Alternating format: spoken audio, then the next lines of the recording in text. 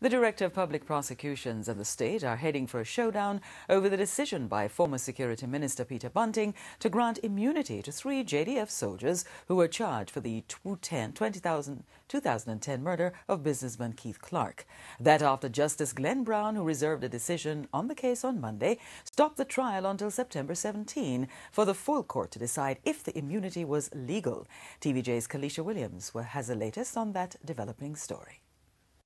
There has been uncertainty as to whether JDF soldiers Greg Tingling, Odell Buckley, and Arnold Henry should be prosecuted for the killing of businessman Keith Clarke. Mr. Clarke was shot dead in his house in St. Andrew in 2010 during the hunt for then fugitive Christopher Dudus Coke.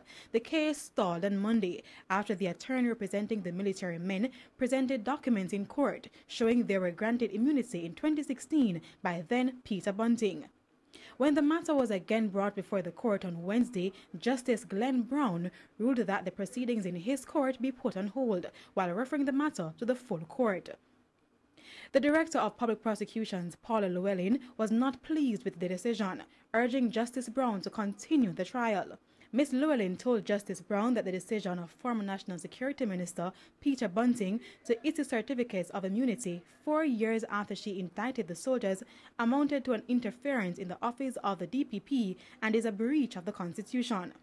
She argued that the regulations used by the minister to sign the certificates of immunity expired on June 30, 2010, and those signed in 2016 are not valid. The DPP said she exercised her constitutional powers to indict the JDF soldiers in 2012, and for the minister to sign the certificates of immunity after that development is a clear interference of her powers to start the prosecution. She said Mr. Bunting's decision cannot erase her decision.